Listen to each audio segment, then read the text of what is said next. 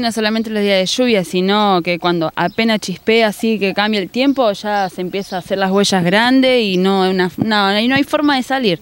No hay forma ni de... Ayer me quedé encajada con los chicos, eh, media hora sacando el auto, eh, es un desastre, es un desastre porque no, no, no puede salir, llegaba tarde a, los chicos, los llevo tarde a la escuela, es un desastre, es un desastre. Y hay días que ni siquiera puedo salir, ni, siquiera hacer los mandados en ningún lado.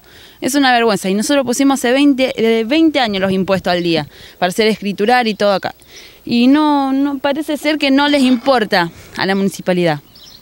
Ustedes dicen, ustedes dicen que no hace falta grandes lluvias, que apenas con una lluvia pequeña ya se torna inaccesible, intransitable. Y sí, porque no tenemos zanja, no tenemos vereda, la calle usted la ve, usted se fija, desde el Hospital San José hasta acá, todas las calles tienen ripio, todas, porque Venezuela, Patagonia, todas. Pringles también, y Cochabamba, quedamos ahí, o sea, estamos en cero no se puede ni salir. Lo mismo cuando llueve, cuando llueve acá es el agua de, o sea, es todo agua, es como un río. Se estanque, no se puede, ni siquiera para salir a hacer un mandado, ni, ni los chicos de la escuela, los yuyos, olvídate, porque si usted va para allá atrás, eh, se fija que se está cerrando la calle y yo cuando hablé con el señor Novelo, porque yo hablé con el señor Novelo, la señora intendenta, me dijeron que yo mentía porque los yuyos acá se cortan. Y si usted se fija allá atrás, la calle se está cerrando. Sí, acá también. Acá también, una cosa... ¿Ustedes alguna vez hablaron de algún mejorado, les hablaron de algún pavimento? Sí, lo prometieron, nos prometieron que iban, me iban a dar unas cantarillas, poner ahí, yo tengo la tacita para trabajar, peleo con los vecinos porque rompo la calle, pero yo lamentablemente lo único que tengo para movilizarme. Y lógico, salgo yo con la tata, ¿viste? Y rompo la calle. Imaginamos, bueno, esto eh, suele suceder, el tema, no hablar de remises, no hablar de ambulancias, ¿cómo, cómo? De meter no se meten los remises acá por el tema del barro, si te dejan te frenan allá en la esquina, ni tampoco, ni más allá por el asunto del agua.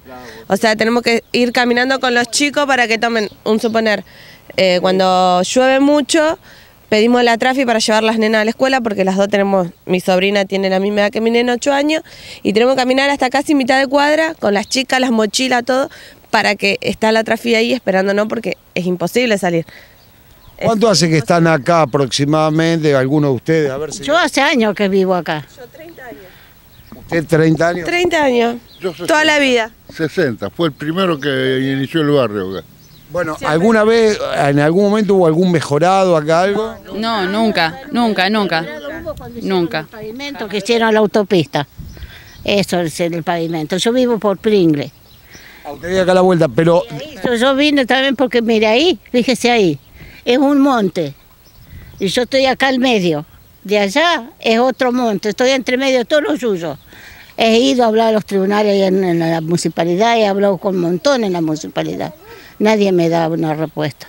Bueno, y además eh, tenían algunos planteos relacionados con servicios, como puede ser de regado, de recolección de residuos. Sí, mira, acá primero no había luz, reclamamos la luz, tuvimos eh, básicamente dos años para que nos llegue la luz, pusieron la luz para que pase el basurero, porque si no había luz el basurero no pasaba. Ahora qué pasa, no pasa el basurero porque eh, la luz la tiene, pero la calle está rota. Olvídate de que pasa el regador en pleno verano, cuando la calle está más o menos medianamente bien.